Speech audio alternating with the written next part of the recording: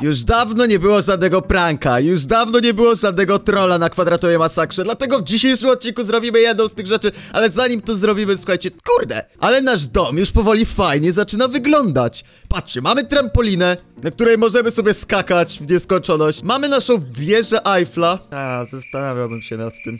Mamy zarąbisty pokój alchemika, który wygląda w ten sposób i on jest naprawdę fajny. Czy ktoś mi tutaj podkradł coś? Mam nadzieję, że nikt mi nic tutaj nie ukradł. Dobra, wszystko jest w porządku. Jeszcze z niego w ogóle nie korzystałem, to jest śmieszna sprawa. Są nasi kumple lamy, Franek, Kazio i... Gdzie jest Marek? Marek! Marek! Gdzie jesteś? Marek! Gdzie jest Marek? Ej, słuchajcie, nie ma Marka. Nie mówcie, że Marek poleciał na górę. Marek, gdzie jesteś? Dobra, słuchajcie, myślałem, że to będzie spokojny odcinek, ale z tego co widzę to... Nie ma Marka, musimy go najpierw poszukać. Marek, gdzie ty jesteś, no? Marek! Gdzie on jest? Ej, nie ma go nigdzie. Naprawdę go nigdzie nie ma.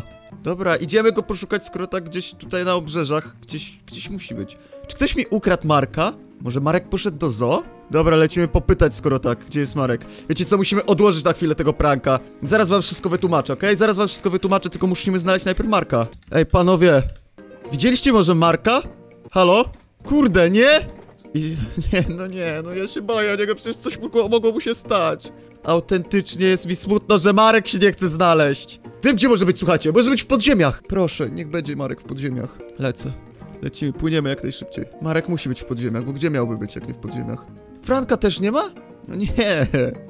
Co jest? Ej, o co tutaj chodzi? Słuchajcie, Franka teraz też nie ma. Druga lama mi zginęła, no. Gdzie oni mogą być? Oni musieli gdzieś wyjść. A propos, słuchajcie, zrobiłem taką fajną farmę automatyczną melonów oraz arbuzów i wszystko mi się zbiera tutaj. Więc będziemy mieli niedługo całe mnóstwo melonów i arbuzów, ale nie ma, słuchajcie, Franka i nie ma Marka. Ej, ja nie wiem, co się dzieje, ale moje kochane lamy znikają. I boję się coraz bardziej o nie. Gdzie on może być? Do wody na pewno nie uciekł, one nie lubią wody.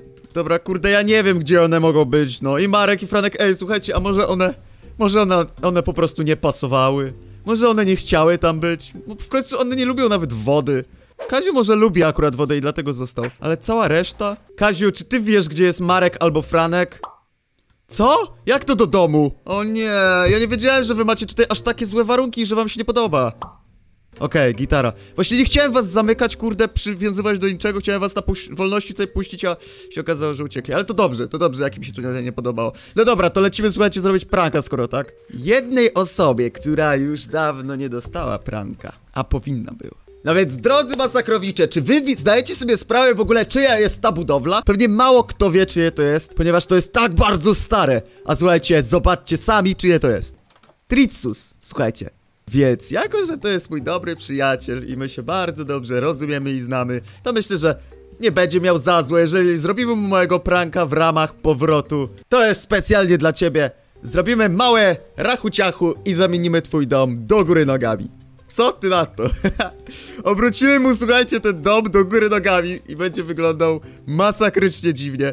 Trochę to może potrwać, ale no cóż, no zabieramy się chyba myślę do roboty. Nie mogę się doczekać efektów końcowych, jak to będzie wyglądało na sam koniec.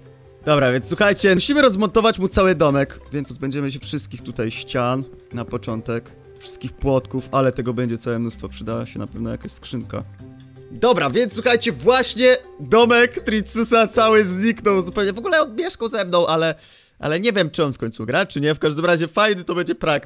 Cały dom zniknął, więc teraz musimy zająć się odwracaniem całego domu i budowaniem go dokładnie na odwrót niż był wcześniej. Wszystkie rzeczy potrzebne schowałem do tej skrzynki, więc na pewno musimy zacząć od dachu. Dach był zrobiony z półpłytek, ze schodów i z pełnych... i z pełnych... E, z pełnego drewna. Więc słuchajcie, zaczynamy od półpłytek na samym środku. Gdzie był środek? Raz, dwa, trzy, cztery, pięć, sześć, siedem. Trzy, Czternaście. Piętnaście. Dobra, więc jego dach zaczynał się od tego. Potem były półpłytki. O nie, to będzie ciężko rozwalić. Czyli najpierw trzeba tak. O, o. To jest ciężkie do zrobienia. Tak. I tą rozwalamy, okej. I było po prostu najnormalniej w świecie dookoła.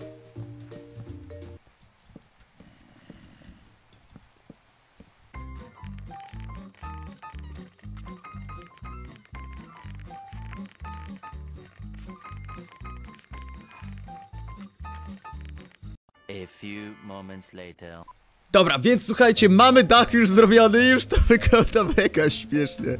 Oczywiście tutaj przez przypadek to powstało, e, żebym wszedł tylko sobie, okej. Dobra, wszystko jest rozwalone, więc teraz zaczynamy robić kolejne warstwy, czyli ściany. Jak były ściany zrobione? Dobra, już wiem.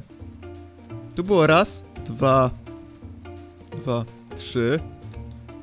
Raz, dwa, trzy.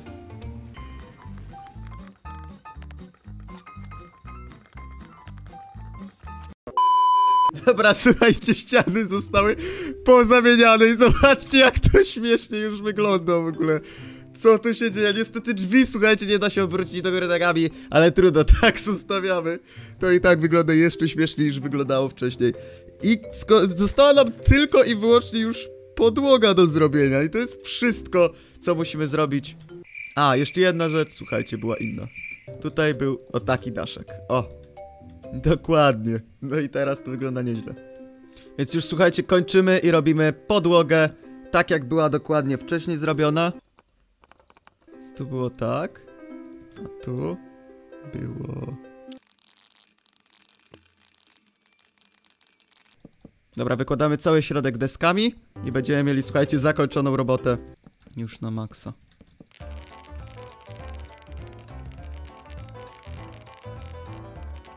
A w tym miejscu, z tego co pamiętam, były płotki, bo tam jest ta dziura do kopalni Tricusa. Tutaj jest idealnie, dobra. Dobra, więc słuchajcie, cały domek Tricusa został właśnie wy- wywrócony do góry nogami.